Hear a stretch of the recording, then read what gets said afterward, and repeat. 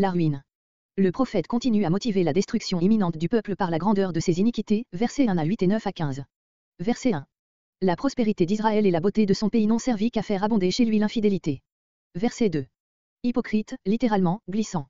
Détruira leur statut, littéralement, abattre leur sommet, peut-être est-il ici question, ainsi qu'au verset 1, de simples colonnes, telles qu'en élevé les Cananéens, en souvenir de quelque événement ou à l'honneur de leur Dieu, par exemple celle de Béol et d'Astarté, un roi 14.23. Verset 3. Le moment vient où ils prononceront cette parole de regret, notre roi ne mérite pas vraiment ce nom, car il est impuissant à nous protéger. Mais ce ne sera pas là une parole de vraie repentance, pas plus que celle de Osée 6.13. Verset 4. Pendant qu'ils font avec les païens des alliances aussitôt rompues, le jugement arrive aussi sûrement et aussi promptement, QU éclos au printemps, en Palestine, le coquelicot, qui abonde dans les champs de blé. Verset 5. Les veaux, littéralement, les génisses, terme plus méprisant que le masculin. Mais pourquoi le pluriel? Peut-être y avait-il à Bethel, Bethaven, Osée 4.15, note, quelque autre veau d'or que celui que Jéroboam y avait fait dresser, on bien est ici qu'un pluriel désignant l'espèce, lui et tous ceux de sa sorte. Le prophète penserait à celui de Dan. Quoi qu'il en soit, le singulier revient aussitôt après, sur lui, pour lui. Osée se transporte par la pensée au moment où déjà le veau d'or ne sera plus là. Son peuple. Le peuple de Samarie, prêtres et habitants, tremble pour ce pauvre veau que menace l'invasion de l'ennemi, quel Dieu que celui pour la sûreté duquel se tourmentant ainsi ses adorateurs. Sa gloire, la majesté divine qu'il lui attribue. Ses prêtres, en hébreu, Kamarim, mot qui ne se retrouve que 2 rois 23.5 et Sophonie 1.4 et qui, en syriaque, signifie prêtre. En passant dans la langue hébraïque, ce terme a pris le sens défavorable de faux prêtres ou magiciens, car les prêtres qui venaient de Syrie avaient ce caractère. Verset 6 l'idole partage la captivité de ses adorateurs. Le roi vengeur, comparé aux 5.13, celui que les Israélites appelaient pour les défendre et les venger et que Dieu emploie maintenant pour se venger d'eux. Verset 8. Aven, néant, iniquité, employé pour Beth Aven, Bethel, maison d'iniquité. Couvrez-nous. Ils préféreraient disparaître, comme dans un tombeau, plutôt que d'être atteints par le jugement de Dieu qui les menace. Comparez Luc 23.30 et Apocalypse 6.16. Verset 9. Depuis le temps de Gibéa. Le prophète rappelle ici le crime affreux commis à Gibéa et raconte Juge chapitre entre 19 et 20. Israël est aujourd'hui tout entier ce qu'étaient les habitants de cette ville illustrés par ce crime. Ils sont encore là. Le prophète voit l'Israël actuel comme identifié à ces anciens scélérats qui bravaient le châtiment dont ils étaient menacés.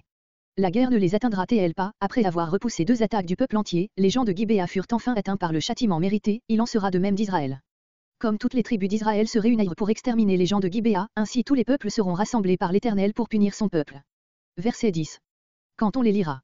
Ils seront emmenés en captivité liés à leurs deux veaux d'or, leurs deux péchés.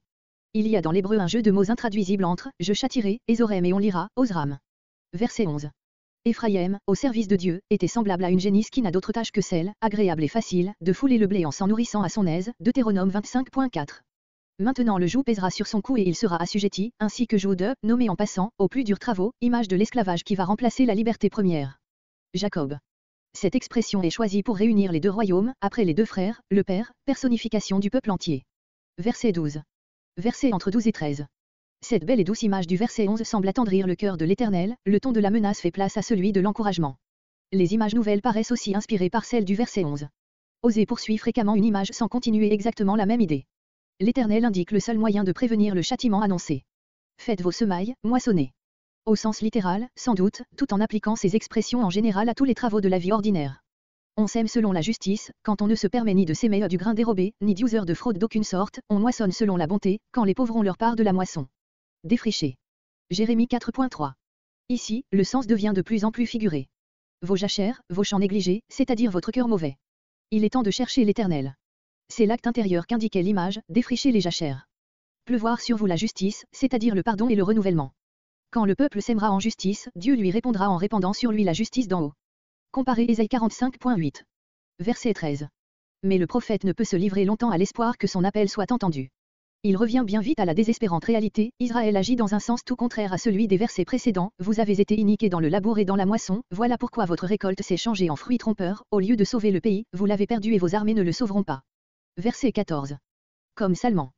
Une inscription assyrienne du haut roi Tiglath-Pilésé mentionne un roi moabite du nom de Salmanou parmi les princes qui devaient le tribut. Or, Tiglath-Pilésé étant contemporain de Ménahem d'Israël, si on l'identifie, comme on le fait généralement, avec Ful, de roi 15.19, une chronique 5.26, et Osée ayant vécu sous Ménahem, il est fort possible que le prophète fasse allusion à une incursion de ce chef moabite, dans laquelle il aurait pillé et détruit la ville d'Arbel mais peut-être aussi le nom de Salman désigne-t-il un des nombreux rois d'Assyrie qui ont porté le nom de Salmanazar, et, dans ce cas, il serait naturel de penser à Salmanazar IV, qui commença le siège de Samarie achevé par Sargon, siège qui mit fin à l'existence du royaume des dix tribus.